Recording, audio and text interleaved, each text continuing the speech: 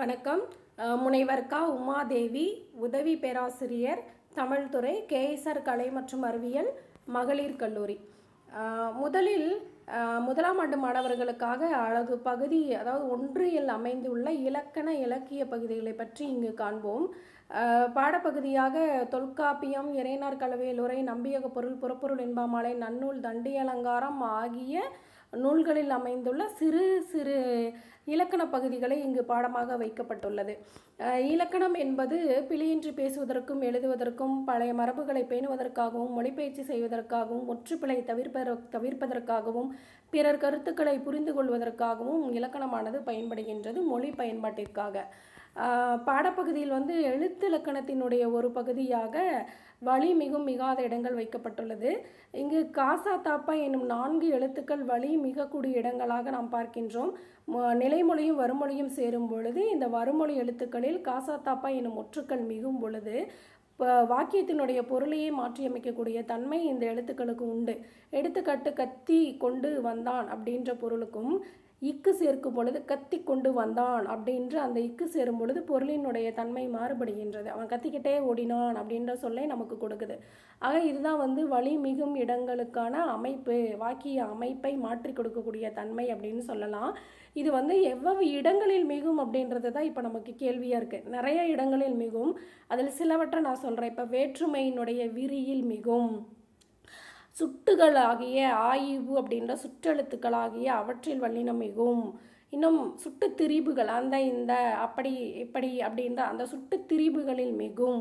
அப்படின்னு சொல்லுவாங்க. அதே போல் உண்மை தொகை பச்சை குட்டல் கிளி பச்சை கிளி இருபெயரொட்டு பண்பு தொகை சாரை பாம்பு சாரை குட்டல் பாம்பு சாரை பாம்பு அப்படின்ற இடங்களில் எல்லாம் வல்லினம் மிகும் அப்படின்னு சொல்லுவாங்க. இதே மிகாத இடங்களுக்கு அப்படின்னு பார்த்தோம்னா இதே போல தான் நிலைமொழியும் வறுமொழியும் சேரும் பொழுது ஆனால் மிகாத இடங்களுக்கு அதாவது சுட்டு திரிபுகள் ஆகியவற்றையும் சொல்லுவாங்க. அதாவது அத்தனை இத்தனை எத்தனை சொல்கிறோம் இல்லையா? அந்த இடங்கள். அதுபோல் வினை தொகையில் வள்ளினம் மிகாது அப்படின்னு சொல்லுவாங்க. ஊரு குட்டல்காய் ஊறுகாய் அப்படின்ற இடங்கள். அடுத்த இலக்கணம் என்ன அப்படின்னா ஈரொற்று வரும் இடங்கள். இந்த ஈரொற்றுக்கள் வந்து என்னென்ன எழுத்துக்களில் மட்டும் வரும் அப்படின்றது தான் விதி. ஈ இர் இல் அப்படின்ற அந்த ஈரொற்றுக்கள் அதாவது அந்த மூன்று எழுத்துக்களும் ஈரொற்றுக்களாக அமையும் அப்படின்னு சொல்கிறாங்க அது எப்படி அப்படின்னா காய்ச்சல் தேர்கால் வாழ்க்கை அப்படின்ற இடங்கள் எல்லாம் நாம் ஞாபகம் வச்சுக்கணும். அதாவது வா அந்த ஈ ஈ இர் இல் அப்படின்றதுக்கு பக்கத்தில் காசா ஒற்று வரணும். இதுதான் விதி.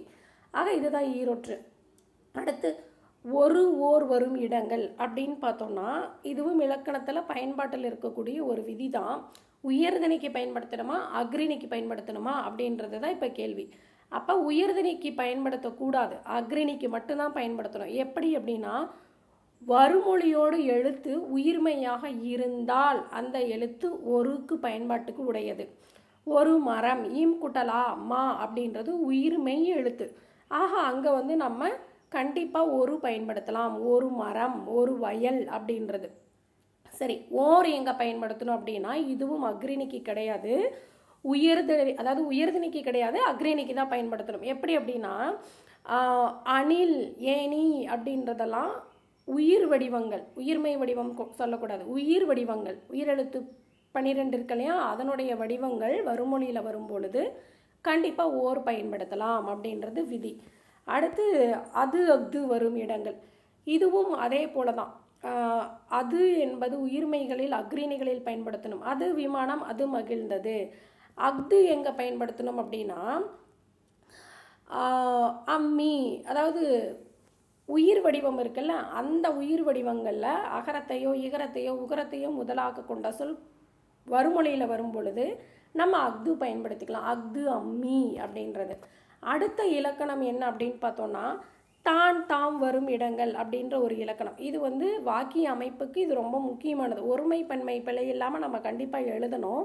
அதற்காக இது பயன்படுத்துகிறோம் இப்போ தான் என்பது எல்லாமே ஒருமையை குறிக்கக்கூடியது. தாம் என்பது எல்லாமே பன்மையை குறிக்கக்கூடியது. தான் தன்னை தன்னால் தனக்கு தனது என்பதை வாக்கியங்களில் பயன்படுத்தணும். தாம் என்பதை தம்மை தம்மால் தமக்கு தமது அப்படின்றத பயன்படுத்தணும். இது வந்து நம்ம பயன்பாட்டுக்கு தான். பேசும் பொழுதும் எழுதும் பொழுதும் பயன்பாட்டுக்கு தான் இந்த இலக்கணங்கள் எல்லாம் பயன்படுத்திகிட்ருக்கோம் அடுத்து இலக்கிய பகுதியாக சங்க இலக்கியம் கொடுத்துருக்காங்க. இது சங்க இலக்கியம் ரெண்டாம் நூற்றாண்டு பதினேழு மேற்கணக்கு நூல்களில் ஒன்று எட்டு தொகை பத்து பாட்டு அப்படின்றது இதனுடைய ரெண்டு பிரிவு இருக்குது மொத்தம் பதினெட்டு நூல்கள் இதில் அடங்கியிருக்கும். அகம் ஐந்து நூல் புறம் ரெண்டு நூல் அகப்புறம் கலந்த நூல் ஒன்று. அதே பத்து பாட்டில் ஆற்றுப்படை நூல்கள் ஐந்து அகம் ஒன்று புறம் ஒன்று அகப்புறம் கலந்த நூல்கள் ஒன்று. இது வந்து கால அடிப்படையில் இது வந்து ஒரு பொற்காலம் அப்படின்னு சொல்லுவாங்க. பழைய வாழ்க்கை முறையை நமக்கு எடுத்துக்காட்டினா பறைசாற்றின பழம் கண்ணாடி அப்படின்னு கூட இந்த இலக்கிய நூல்கள் எல்லாவற்றையும் நாம் சொல்லலாம். அடுத்த இலக்கியம் என்ன இங்கே பாடப்பகுதினா அரை இலக்கியம். இது வந்து இருண்ட கால இலக்கியம். அறநூல்கள் இதில் பனிரெண்டு இருக்குது அந்த திருக்குறள் நாலடியார் நான்மணி கடிகை பழமொழி நற்பது இன்னா நற்பது இனியவை நற்பது எல்லாம் இருக்கு இல்லைங்களா? அது எல்லாமே அறநூல்கள் அப்படின்னு சொல்லுவாங்க. அறம் போதிக்கக்கூடிய நூல்கள். அடுத்து இதில் அகமும் உண்டு புறமும் உண்டு. ஆறு அகநூல்கள் இருக்குது புறநூல் வந்து ஒன்று இருக்குது அது களவழி நாற்பது அப்படின்னு அந்த நூலை சொல்லுவாங்க. அடுத்து காப்பிய இலக்கியம். இது வந்து ரொம்ப முக்கியமான ஒரு பகுதின்னு சொல்லலாம். தண்டி அலங்காரத்தில் அறம்பொருள் இன்பம் வீடு என்னும் நாற்பொருள் பைப்பது காப்பியம் அப்படின்னு சொல்லுவாங்க. இதில் பெருங்காப்பியம் சிறுகாப்பியம் அப்படின்னு இருக்குது நமக்கு வந்து காப்பியங்கள் காப்பிய இலக்கணத்தை பற்றி கொடுத்துருக்காங்க இலக்கணம்.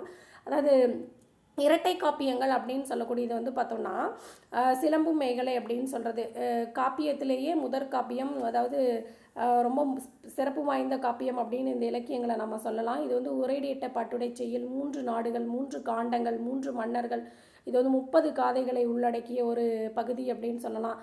சேர சோழ பாண்டிய மன்னர்களினுடைய பழம் பெ- பெருமைகளை பறைசாற்றக்கூடிய நூல் இந்த சிலப்பதிகாரம். அதைத் தொடர்ந்து வந்த மணிமேகலையும் அதே போல் காப்பியத்தினுடைய சிறப்பை எடுத்து கூறக்கூடிய ஒரு மிகச்சிறந்த காவியம் அப்படின்னு இந்த மணிமேகலையையும் சொல்லலாம். அடுத்து பக்தி இலக்கியம். பக்தி இலக்கியம் என்பது நமக்கு தெரியும் பன்னிரு திருமுறைகள் நாயன்மார்களை உணர்த்தக்கூடியது நாலாயிர திவ்ய பிரபந்தம் ஆழ்வார்களினுடைய புகழை உணர்த்தக்கூடியது. அதற்கப்புறம் பகுத்தறிவு இலக்கியங்கள் அப்படின்னு பார்த்தோம்னா திருமூலர் பட்டினத்தார் கடுவெளி சித்தர் அப்படின்ற சித்தர்களினுடைய வாழ்க்கை வரலாற்றையும் நமக்கு பக்தி இலக்கிய பகுதியாக கொடுத்துருக்காங்க. இதில் ராவண காவியம் அப்படின்ற அந்த கம்பராமாயண பகுதியில் இடம்பெற்ற ஒரு கதாபாத்திரம் தான் எதிர் கதாபாத்திரமாகிய ராவணனினுடைய வாழ்க்கை வரலாற்றை புலவர் குழந்தை அவர்கள் காவியமாக எழுதியிருக்காரு. அந்த பகுதி நமக்கு பாடப்பகுதியாக வச்சுருக்காங்க. இதுதான் வந்து முதலாம் ஆண்டு மாணவர்களுக்கான பாடப்பகுதியாக அமைந்துள்ளது. நன்றி.